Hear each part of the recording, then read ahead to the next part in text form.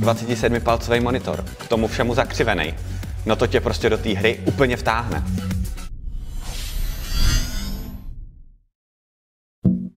Hey!